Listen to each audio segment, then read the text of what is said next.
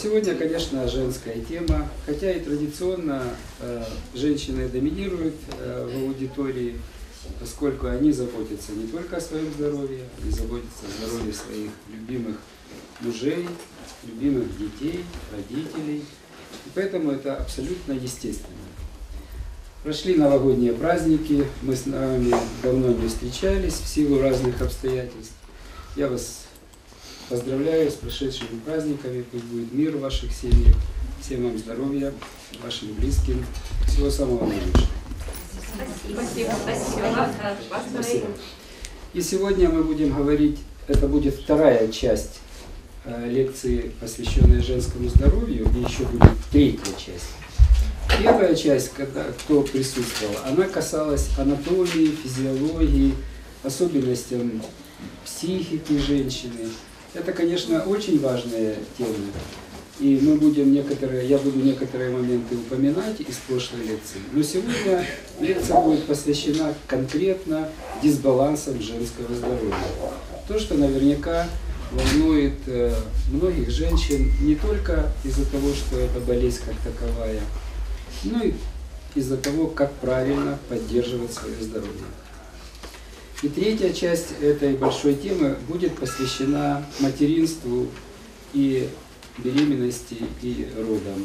То есть это также очень важная тема, даже для тех женщин, которые уже не планируют беременность.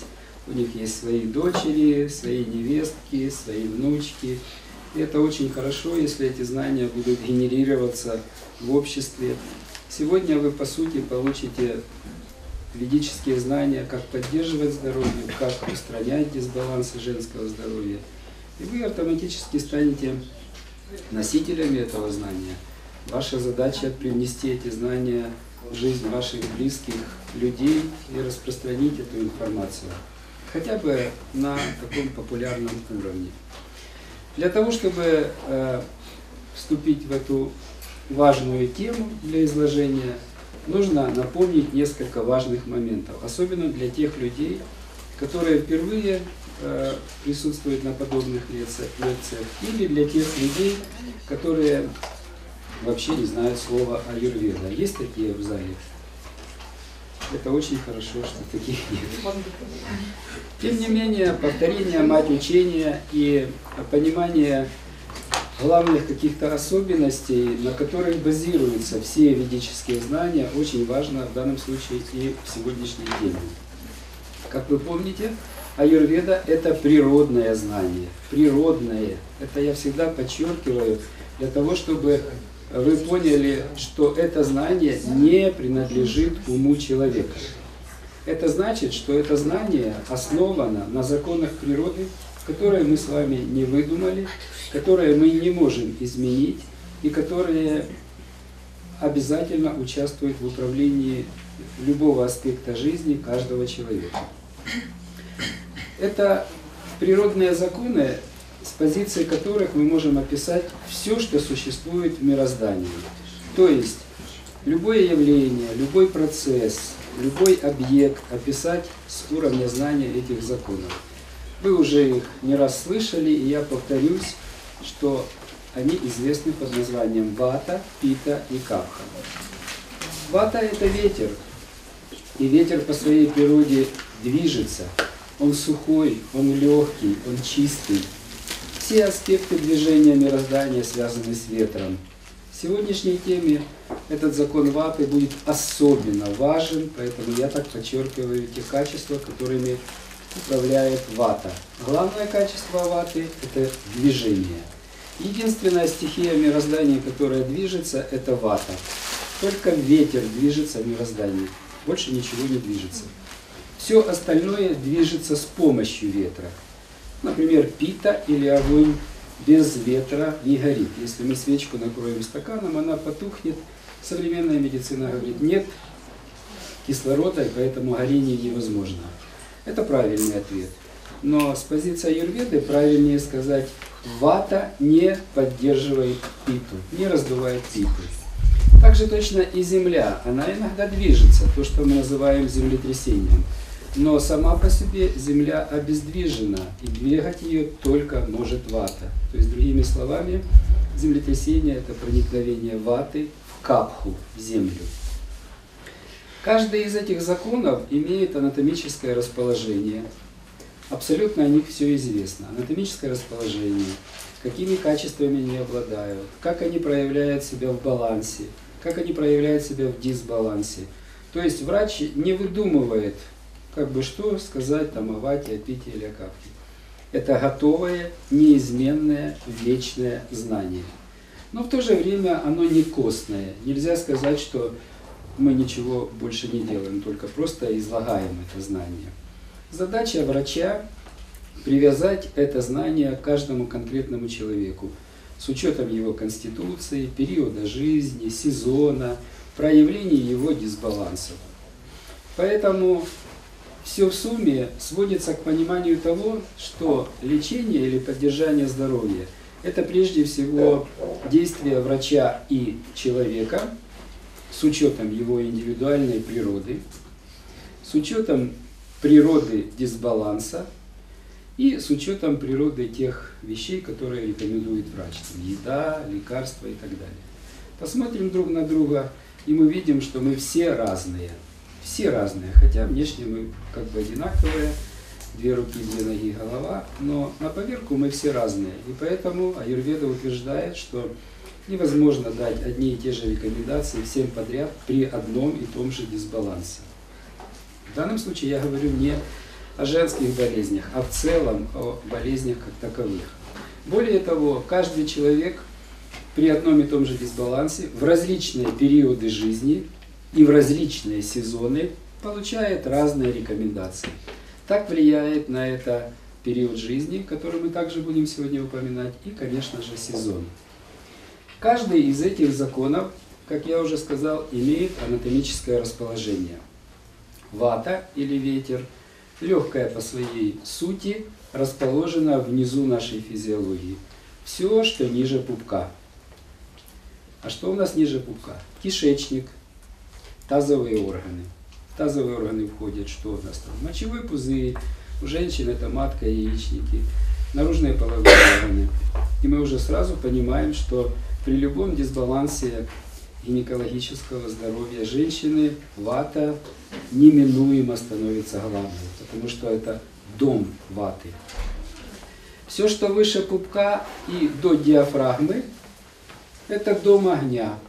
Здесь, как правило, мы видим, что расположены органы, которые участвуют в переваривании пищи. Это дом питы, дом огня, то есть место переваривания пищи. В толстом кишечнике пища, конечно, уже не переваривается. Какие-то э, небольшие э, обменные процессы идут, но в основном это процессы всасывания и выведения, а не переваривания. И, наконец, все, что выше диафрагмы, а это легкие, сердце, шея, придаточные пазухи носа, это дом капхи, дом земли. Видите, как устроена природа. Легкая находится внизу, а тяжелое находится вверху. Легкое естественным образом движется вверх, а тяжелое естественным образом движется вниз. Это одно из объяснений, почему человек как бы держится, не распадается, почему у него руки не отпадают, голова не отваливается. Вата стремится вверх, капха стремится вниз. Это держит человека в целостности. Каждый из этих законов имеет пять подразделов. Естественно, что сегодня мы будем говорить о вате в первую очередь, и очень важно понять, что вата также имеет пять подразделов. Они так называются. Прана-вата, она находится в голове, управляет высшей нервной деятельностью, мышлением. Дана-вата, она находится в горле. Из-за этого у меня есть и у вас есть способность говорить, когда воздух выходит, движется из тела, голосовые связки начинают наши вибрировать, и мы издаем какие-то звуки. Сама навата находится в э, желудке, раздувает пищеварительный огонь. А панавата находится в тазу, все, что ниже пупка. И есть еще пятый раздел, вьянавата. Не, не, не бойтесь, что вы что-то не запомнили. Я еще буду повторять, вьяна вата находится во всей физиологии, в циркуляторных системах и в коже. Так вот, среди этих пяти субдош или подразделов ваты, как вы поняли, апана вата находится в доме ваты. И поэтому этой апане вате будет посвящена вся, вся лекция. Апана вата.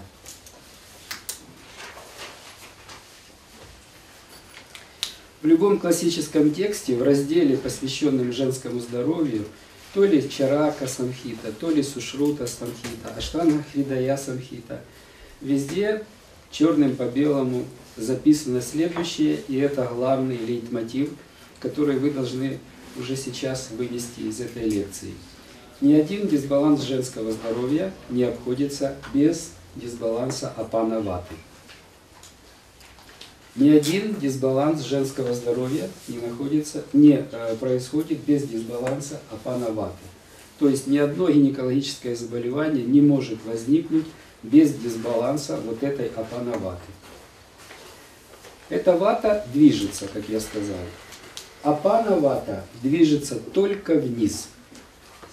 А расположена она ниже пупка. Это кишечник, тазовые органы. Посмотрите, что здесь расположено. Это те органы, которые занимаются очищением. Через кишечник мы выводим кал, а также кишечные газы, что очень важно. Через мочеиспускание, то есть через мочевой пузырь, мы выводим мочу, и женщины через репродуктивные органы выводят вниз менструальную кровь. Всеми этими процессами управляет апанавата. Также мы делаем отсюда простой вывод, что если один из этих каналов у женщины нарушен, то это неминуемо приведет к дисбалансам и других каналов очищения тела. Классный пример. Женщина страдает запорами, и у нее нерегулярный цикл. Она идет к гинекологу, гинеколог ее начинает лечить. И очень часто густо даже не спрашивает, ежедневно ли опорожняет женщина кишечник. Ну так чаще бывает. А если даже женщина скажет, что у меня запоры, гинеколог может сказать, да, это плохо. Это плохо, надо идти к гастроэнтерологу, пить слабительное. То есть для гинеколога эта дополнительная информация не дает понимания сути и причинных факторов того, что поддерживает нерегулярный менструальный цикл. Итак, апанава вата выводит и кал, и кишечные газы, и мочу, и менструальную кровь. У мужчин это же апанавата выводит мужское семя во время соития, а у женщин это же апанавата выводит плод из тела матери. То есть родовая деятельность – это не что иное, как самая активная работа апанаваты – и как вы понимаете, все эти отходы выводятся вниз. А вата – это воздух, это что-то легкое. Представьте, что естественное движение апана ваты должно быть вниз, для того, чтобы вывести отходы. А естественное движение всей ваты вверх. То есть это еще раз подчеркивает, какое нужно усилие приложить, чтобы этот нисходящий ветер эффективно очищал тело и мужчины, и женщины, но в данном случае женщины. Поэтому вот эта апанавата и ее дисбаланс – это обязательное условие для того, чтобы поддерживать здоровье женщины. Независимо от ее конституции, худенькая она или средней конституции, или полная женщина, независимо от периода жизни, юная женщина или зрелая, или женщина старшего периода жизни. А пана Вата всю нашу жизнь делает одно и то же. Выводит отходы. Значимость этой апана ваты еще и заключается в том, что это единственный подраздел ваты, который находится в главном доме ваты. Все, что ниже пупка. Помните, прана здесь, удана здесь, самана здесь.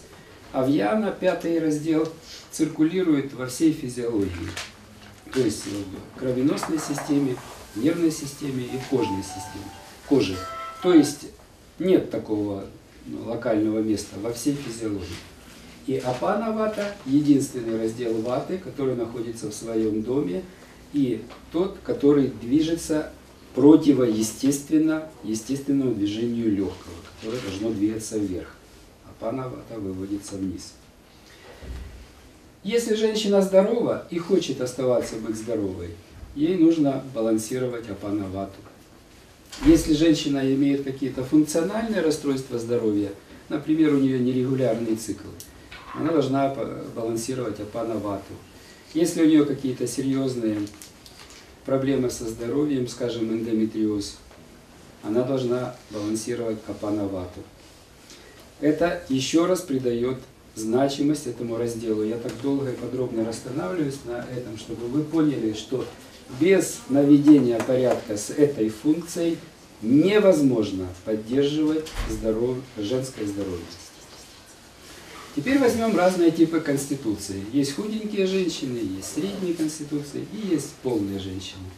Конечно же, худенькие женщины, у которых изначально ваты много, изначально ваты много, то есть качество ваты доминирует в ее теле, они наиболее тщательно и наиболее трепетно должны заботиться о активном движении апана ваты вниз. И мы знаем, что такие женщины чаще всего склонны к всяким проблемам с выведением отходов. Как правило, у них есть проблемы с опорожнением кишечника, то есть тугость в опорожнении кишечника, или же нерегулярность в опорожнении кишечника или даже запор. Как правило, выведение менструальной крови именно для этих женщин наиболее характерный дисбаланс, потому что сухости изначально у таких женщин много. Но я вам напомню, что качество ваты – это не только сухость. Вата по своей природе легкая, холодная, изменчивая – и вот это качество изменчивости особенно сильно выражено у людей, живущих в больших городах, таких как Киев. Поскольку нерегулярность и изменчивость жизни в большом городе всегда более выражена. А тем более в современном мире, когда мы все пользуемся телефонами, интернетами и так далее. То есть совсем по-простому, беготня, суета, несвоевременность еды, несвоевременность сна, несвоевременность э, отдыха, несвоевременность физических нагрузок. Все это колоссальные причинные факторы, которые увеличивают вату в целом в теле женщины. И, конечно же, это отражается на этом э, одном из пяти разделов ваты Апанавати. Возьмем среднюю конституцию, то есть там, где больше доминирует огонь. Огненные женщины, как правило, не худые, не полные, более тяготеют к среднему типу строения. А, они могут быть, э, скажем так, по суше, чем полные женщины. Ну, как правило, они более спортивные такие. То есть мышечные, каркас у них более выражен. Это люди пита, женщины пита конституции – и, конечно же, хотя у них маслянистости не так много, как у полных женщин, но все-таки и сухости у них поменьше, чем у ваты. И все эти факторы, которые я перечислил, которые увеличивают вату в целом и приводят в дисбаланс апана вату, конечно же, значимые для них. И возьмем, например, полных женщин, у которых запас маслянистости такой, что они легко сдерживают сухость. Наоборот, у них маслянистость и липкость, слизеобразующие процессы могут быть настолько повышены в теле, что даже нужно привносить сухость их физиологии. Но, как я уже сказал, у ваты же не только качество сухости, но и другие качества. И если полные маслянистые женщины достаточно легко сдерживают сухость, то другие качества, нерегулярность, холод – легкость ваты, это все то, что также должны сдерживать женщины капха конституции. И поэтому первое, что мы сегодня рассмотрим, это как поддерживать баланс апана ваты. Если вы записываете, то вы можете сделать себе пометки. Апана вата – это один из пяти разделов ваты. Поэтому, если мы будем э, направлять свое внимание только на баланс апана ваты и забудем о других аспектах ваты, конечно, мы не получим должного результата. Поэтому баланс апана ваты начинается с общего баланса ваты в теле женщины. Некоторые э, рекомендации покажутся вам настолько банальными, настолько такими, может быть, где-то непрофессиональными, что как бы не нужно о них говорить. Но на самом деле это имеет огромное значение. Первое, что э, нужно сделать для баланса ваты, это не истязать свое тело тяжелыми физическими нагрузками, тяжелыми эмоциональными нагрузками. Поэтому больше отдыхать, это значит успокаивать вату. У нас трудоголиков много, особенно это характерно для женщин, у которых хорошо выражена пита, огонь. Они всегда трудолюбивы, всегда у них много энергии. Но энергия и трудолюбие всегда э, предполагает какие-то нагрузки прежде всего. И поэтому отдых – это обязательное условие баланса ваты. Но что значит отдыхать? Значит ли это спать? Конечно, нет. Поскольку сам по себе сон – особенно дневной сон и долгое лежание в постели днем, будет не только успокаивать вату эту, а наоборот еще и увеличивать капху, что тоже не очень хорошо. Поэтому отдых это прежде всего испытание физических нагрузок наполовину своих физических возможностей. Каждый задаст вопрос, что же это нагрузки наполовину своих физических возможностей.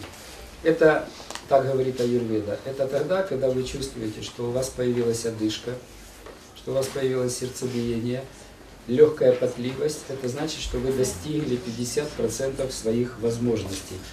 Кто-то скажет, так у меня после двух приседаний это появляется. Так, так и есть. Это значит, что вот ваш потенциал. Все, что делается чрезмерно, будет увеличивать вату. Особенно это касается физического труда, поскольку, э, допустим, если я рекомендую кому-то э, физические упражнения, то женщина может отвечать так, ну я и так работаю, какие там еще физические упражнения. Но между ними есть большая разница, как говорят в Одессе. Физический труд – это активность в стрессе, всегда в стрессе. Даже если вам работа ваша нравится – и вы хороший специалист, и вы балдеете от своей работы, но труд – это всегда активность в стрессе. Надо сделать так, а не так. Тут зашел начальник, или вы сами собой недовольны. А физические нагрузки в виде физкультуры – это активность вне стресса. Именно физкультуры, не профессионального спорта. Кроме того, что вы не должны переутомляться, вы должны также не переутомляться эмоционально. То есть избегать стрессов. Когда мы говорим слово «стресс», в аюрведе это автоматически обозначает, что это процесс, который увеличивает вату. Любой стресс увеличивает вату. Это не только в прямом смысле раздражение или гневливость или ссора с кем-то, а на, наоборот там неспособность выразить свои мысли. Или же это долгое общение с человеком, который вам неприятен, или же это вынужденное общение с этим человеком, вы не можете его исключить. Любой стресс увеличивает вату. Это переедание, это уже стресс. Да. И, и, и любая вынужденная поза это любая вынужденная поза это тоже стресс. Например, парикмахер все время одни и те же позы. Хирург одни и те же позы. Там продавец. Ну и таких много примеров можно привести. Поэтому, конечно, нужно исключить тяжелые физические нагрузки и тяжелые эмоциональные нагрузки. Далее очень важный момент – это сон. Сон – это прямое противоположное качество ваты. Высыпаться – это значит успокаивать вату. Но сон этот должен быть только в должное время. А должное время у нас – это ночное время. Идеально, когда женщина ложится рано спать, и также рано встает. Для большинства людей в современном мире это что-то такое невозможное, недопустимое. Как же можно рано лечь, если самое рейтинговое время – это вечерние часы? И в плане общения, там, и в плане каких-то там увлечений и так далее. Но, к сожалению, э, это тот фактор, который мы не можем игнорировать, поскольку ритм жизни зависит от движения Солнца и Луны. И не Солнце и Луна за нами движутся, а мы за ними движемся. Им как-то, извините, все равно, когда мы ложимся и когда мы встаем. Но Солнце и Луна – это личности, которые обладают своими качествами. Солнце горячее, значит, это энергия. Луна холодная, значит, это покой, нет мало энергии. И в разговоре между собой они могут такое сказать. А вот Наталья Петровна ложится поздно спать и поздно встает. Это значит, что она нас не уважает. Нужно ее за это наказать. Это, конечно, такое как шутка, но можете мне поверить, что так это и происходит. Своим неправильным ритмом жизни вы подчеркиваете неуважение к законам природы, прежде всего к движению Солнца и Луны. Конечно, люди придумали жаворонок и сов, и не придумали, а так и есть. Жаворонки – это ваты, а совы – это капхи. Но между ними это час времени, а не 5-6 часов. Когда человек ложится в 3 часа ночи и говорит, ну я ж сова, что мне надо попозже. И также точно в 12 часов ночи встает, он дня встает и говорит, ну я ж сова. А доктор ему говорит, вам нужно вовремя завтракать, 7-8 завтракать, и человек спит в это время. Поэтому своевременный должный сон – это обязательное условие успокоения ваты. Далее еда. Конечно же, еда должна быть такой, которая не будет увеличивать эту вату. Но еда должна быть своевременной, своевременной, а не тогда, когда вы хотите. Конечно, не всегда это просто сделать, но вместе с тем это не означает, что не нужно об этом говорить. Только своевременная еда эффективно переваривается и хорошо успокаивает вату. Идеальная еда для успокоения ваты – приготовленная еда. Приготовленная. Жидкая, полужидкая, теплая, маслянистая, свежая, приносящая удовлетворение. Никак не сухая, никак не холодная – никак не сырая. Обращаю ваше внимание. Сейчас, в этот период, а сейчас период э, сезона ваты, когда мороз и ветер, пусть там мороз сейчас маленький или нет его, тем не менее зима – это сезон ваты, сырая еда не полезна никому. Никому. Природу не обманешь. Когда-то там в советские времена у нас кроме капусты сырой зимой ничего не было и морковки. Сейчас супермаркетах как бы это все есть, но в ведах есть четкое указание, что еда не по сезону считается неблагостной едой. Особенно это не полезно, как вы понимаете, женщинам с вата конституцией. Ими движет такое благое намерение получить больше минералов, витаминов, так сказать, белков, жиров, углеводов. Ну, давайте подумаем вместе, что происходит с едой, которая попадает сырая в наш желудок зимой. Мало того, что она холодная по своей природе, ее нужно согреть в желудке, ее нужно подготовить к перевариванию, ее нужно переварить. А у женщин вата конституции, худеньких женщин, как правило, пищеварительный огонь под жестким влиянием ветра. То есть ветер все время задувает этот огонь. И этого огня может даже не хватить на согревание там, и подготовку к перевариванию, а не то, что переварить эту пищу. Поэтому часть функции пищеварительного огня мы отдаем печке. Печка ее греет и ее готовит. А мы, употребляя готовую еду, только перевариваем ее. Еще раз подчеркну, это очень важно для женщин вата конституции, для женщин, у которых есть дисбалансы апана ваты, не только в гинекологии, например, запоры, и для женщин, которые живут в периоде жизни ваты. Я вам напомню, что вся наша жизнь делится на три больших периода. В детстве доминирует капха, примерно от рождения до 15-18 лет – Капха – это земля, и она отвечает за структуру тела. А главный, э, главная особенность детства – это рост и накопление структуры. То есть все дети, независимо от их природной данности, живут в периоде жизни капхи. Им нужно накапливать структуру. Примерно к 15 годам пита, огонь, начинает проявлять активность, что заканчивается проявлением менструального цикла. Менструальный цикл – это гормональная активность плюс сами выделения крови. Кровь – это пита. И это значит, что примерно с 15-18 лет, не в один день, даже не в один год, начинает доминировать пита, и она, эта доминация питы длится аж до 50-55 лет. Когда к этому периоду жизни пита теряет свою активность, гормоны снижают свою активность, женщина утрачивает менструальную функцию и вступает в период жизни ваты. Ваты, то есть ветра.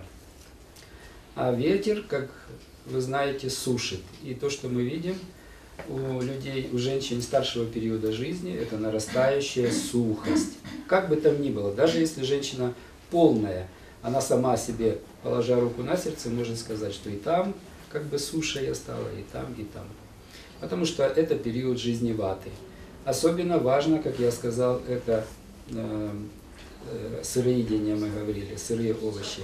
Для женщин вата конституции, для женщин с дисбалансами ваты и для старшего периода жизни.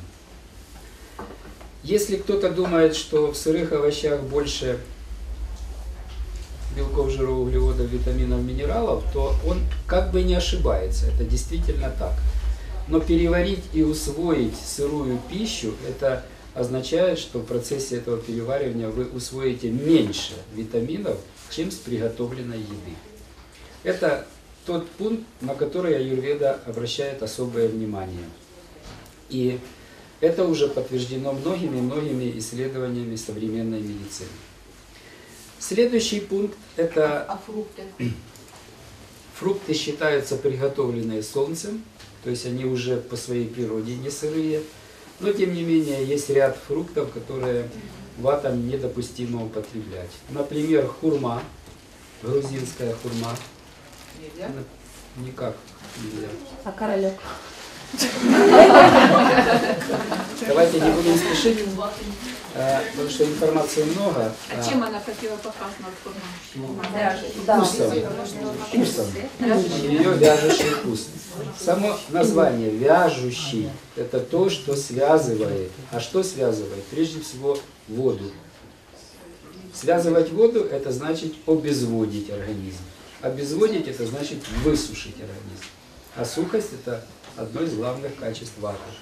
Также точно айва, груши и даже яблоки лучше употреблять, не употреблять или либо употреблять в приготовленном виде. Если это будет айвовое варенье, например, то это совсем другое, там, чем просто айва. Если это будет грушевое варенье, это лучше, чем сырая груша. Но это, правда, в большей степени, конечно, для женщин вата конституции, потому что они изначально сухие. Кроме того, что э, мы вот эти все моменты должны учитывать для баланса апана ваты, мы также должны понимать, что у сухости есть два противоположных качества – влажность и маслянистость. И поэтому эти два качества нужно привносить в свою жизнь для успокоения ваты. Влажность – достаточный питьевой режим. Вата конституция должна употреблять воды примерно 30 мл на килограмм веса. И, конечно, эта вода не должна быть холодной, не должна быть газированной. Питы должны употреблять примерно 20-30 мл на килограмм веса. И капхи употреблять хотя бы 10 мл на килограмм веса. И учитывая, что средний вес там, у ваты, у питы, кап разный, мы выйдем на цифры от литра до полутора литров воды вы должны употреблять для успокоения ваты. Сутки. Второе качество – это маслянистость. Это не просто значит, что нужно исключить сухую еду, но также нужно привнести маслянистость в еду. То есть еда не должна быть сухой. И поэтому каша без подливки, там, сухарики, слишком зажаренные продукты, когда много корочек наших любимых, это все элементы сухости. И, конечно, это сильно увеличивает вату. Когда А мы- орехи, сухофрукты? Орехи нет, ни- никак не, они же маслянистые, а сухофрукты в сухом виде увеличивают вату, поэтому лучше их употреблять э, в вымоченном состоянии. Или отваривать компот.